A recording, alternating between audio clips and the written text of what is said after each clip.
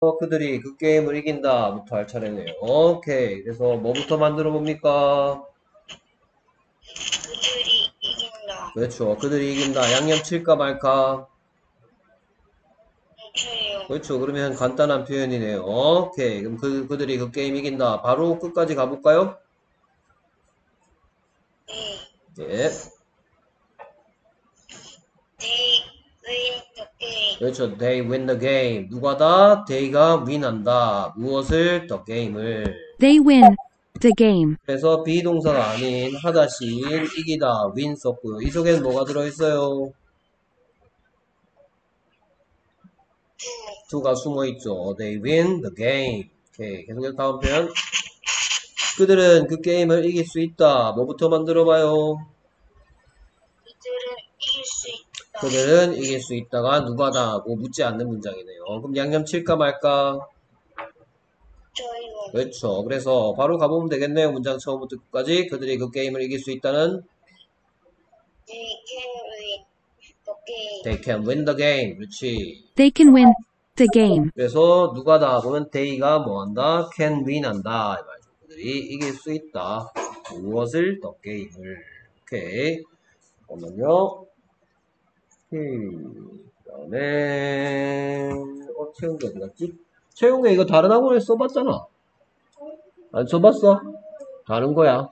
일단 조금 이따 쓸게 그러면 수고가 나서. 오케이. 계속해서 다음 표현. 그들이 그 게임을 이길 수 있니? 뭐부터 만들어봐요? 그들은 이길 수 있니? 어, 그 누가 다를 만들어내니까 그들이 이길 수 있다부터 만들죠. 그렇죠? 오케이. 그들이 이길 수 있다는 뭐예요? They can win. 누가 they가 뭐한다? can win. 그러면 묻는 말 만들어야 되네요. 얘는. 그들은 그 게임 이길 수 있니? Can they win 음, the game? 그렇지. Can they win the game? 이렇게 물으면 되는 거죠. Can they win the game? 오케이. 그래서 만약에 이길 수 있다면 뭐라고 대답해요? Yes, I do. Yes, they can. Yes, they can win the game. 또는 Yes, they can. 만약에 이길 수 없다면 뭐라고 대답해요? No.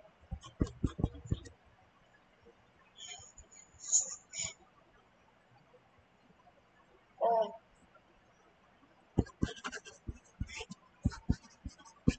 No, they can't. 자, 어, 민철이 생각해봐. 그들이 게임을 한국말로 그들이 게임 이길 수 있나요? 라고 물었는데 이길 수 있으면 그래 그들은 이길 수 있어. 이길 수 없으면 아니 그들은 이길 수 없어. 이럴 거 아니야. 그래서 그래 그들은 이길 수 있어. Yes they can. 아니야 그들은 이길 수 없어. No they can't. 오케이 그래서 다음 표현 그들은 그 게임을 이기니 뭐부터 만들어봐요 그들은 이긴다. 그렇죠 그들이 이긴다 그럼 그들이 이긴다 바로 표현해 볼까요 They they win. win 그러면 묻는 말 만들어서 문장 완성해 보세요 그들은 그 게임을 이깁니까 Do they win the game? Do they win the game? 그렇지. Do they win the game? Do they win the game? 오케이, they win. 그들이 이긴다는데 그들이 이긴다를 이기니 하려니까 do they win 하면 되는 거고요. 오케이, 계속해서 다음 표현. 그들은 그 게임을 이기지 않는다. 이건 바로 가면 되겠네요. 그들이 그 게임 이기지 않는다. 문장 처음부터 끝까지 영어로 표현하면.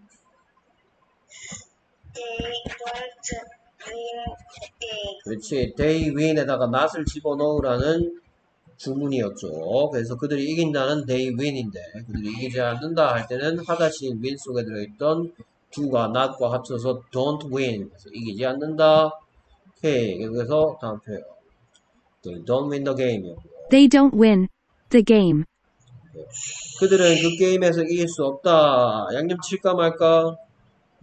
저요. 그렇죠. 그래서 처음부터 끝까지 표현하면 되겠다. 그들은 그 게임을 이길 수가 없습니다. They can't win the game. They can't win the game. 그렇지. They can't win. 이길 수가 없다. They can't win the game. 오케이. 계속해서 다음 표현. 그녀가 거기에 간다. 뭐부터 만들어봐요? 그들은 간다. 음, 그들은 안 보이는데. 어, 그녀는 간다. 그렇죠. 그녀가 간다부터 만들죠. 오케이. 그녀가 간다. 영어로 표현하면 어떻게 돼요? She goes. 그렇지. She goes. 양념 안 쳤네요. 그리고 하다 she 속에 does가 들어갔네요. She goes. 그럼 문장 완성. 그녀가 거기에 갑니다. She goes there. There. 그렇지. 뭐라고요? She goes there. She, de- she goes there. She goes there. 그녀가 간다. She goes. 어디로? There. 거기로. 오케이. 다음 표현. 그녀는 거기에 가지 않는다. 바로 표현해 볼까요? She doesn't go 그렇죠. 그녀가 가지 않는다는 그녀가 간다라는 she goes에 난만 넣으면 되는 거니까 does를 꺼내서 she doesn't go there 하면 되겠죠.